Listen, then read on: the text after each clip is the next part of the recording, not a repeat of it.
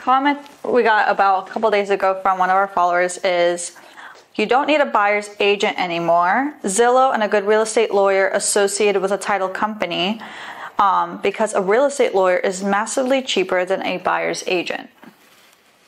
Okay, so uh, I believe I understand the context of the comment.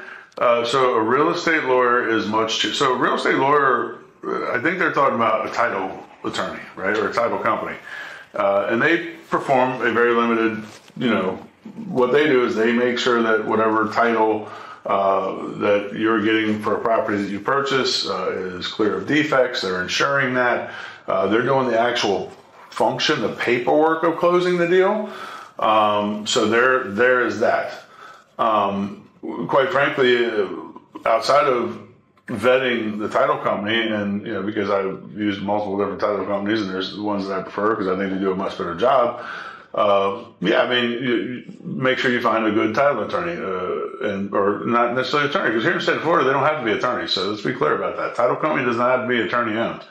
Um, in my mind, I don't know why you would use a title company that isn't attorney owned, um, and they all charge various fees. Um, I will say that uh, in my uh, in my experience, because there, I've had people before that have come in and they've had already something set up and say, hey, just go to the title attorney, get them to close it. Um, and it, yeah, that's, you know, um, so really what we're talking about is Zillow replacing a buyer's agent. Um, listen, a couple of things about Zillow. Zillow's a, Zillow's a company. Zillow's a business that, and their business model is to sell your information to buyer's agents, by the way. That's their whole business model. Uh, they may have to change that. We'll see. Uh, Zillow as a company performs um, however they perform. They lost like a billion dollars doing their iBuyer program and almost lost the whole company. They had to shut that down. So, um, but I guess you could also substitute Realtor.com or you know, Homes.com or whoever you want into there. So, can you find a home uh, by yourself on Zillow? Yeah, absolutely you can. Uh, and if you feel confident about the process of uh, uh doing that and setting up uh, appointments with uh, other realtors because they're still going to be sellers agents, um, and you feel confident about um, your ability that you're going to find all the homes that might work for you. You're going to be able to find all the programs, uh, you know, different lenders and things we've been talking about in these other videos. Um, you're going to be confident enough to negotiate your own contract with the seller's agent.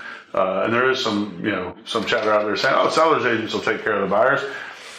Yeah, well, we'll see how that works out. Unfortunately, in every business, there's uh, people that you know act one way and people that act the other way. So I guess it really depends on the agent you get in that case. Um, as far as uh, that, you know, if you know uh, an inspection company and you feel confident uh, getting an inspection company in to look at, uh, you know, whatever needs to be looked at and all the other processes. And I, I mean, I guess I could go through the, the list of uh, things that a buyer's agent does that Zillow won't do uh, then by all means, um, you know, you don't have to have a realtor to sell your house. FSBO, there's a reason we have for sale by owners. Uh, if you feel confident enough to sell your own home and you think you're going to get the same result or better, then you then yes, please by all means. It's the same as people that work on their own cars. If you feel confident you can change your oil and you're willing to take the time to change your own oil rather than pay somebody to do it, then why wouldn't you do it? I you know I don't understand that concept either. Um, so, do we need buyer's agents? No. If you feel confident enough to buy your own house, no, of course not. Just like selling your own house, you don't need a selling agent. Um, do I think that in well, I don't know, 90% of the cases, it's probably a pretty good idea to have a buyer's agent? Yes. Do I think that in, uh, I don't know, around 90% of the cases, you're probably going to do better with a buyer's agent? Yeah, absolutely. Now, make sure you pick a competent buyer's agent. If you go pick some you know, idiot off the street, then yeah, it might not be all that helpful. But uh, that's you know, again, in any business, make sure like if you're going to go get you know heart surgery done, I'm pretty sure you're going to vet your heart surgeon. Do the same thing with your realtor. Um, so, do we need? That was a question. Right? Do we? We don't need. No, they said we don't need. But no, you, you, never did. You didn't need a selling agent either. Uh, so I think it's a good idea to get one. Yes, I do.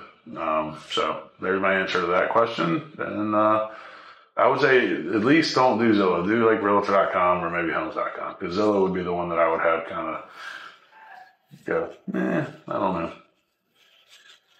That's my answer. Hey guys, thank you for tuning in to Living in South Florida Does Not Suck. Please do subscribe with the notification bell on. If you liked today's guest, you can also get more information about them right here. Like magic, it will appear. Uh, anyways, we love having you here. We love having your friends here. Shout it out from the rooftops. Like us on Facebook. Share it with your friends. We'll see you soon here in beautiful, sunny South Florida.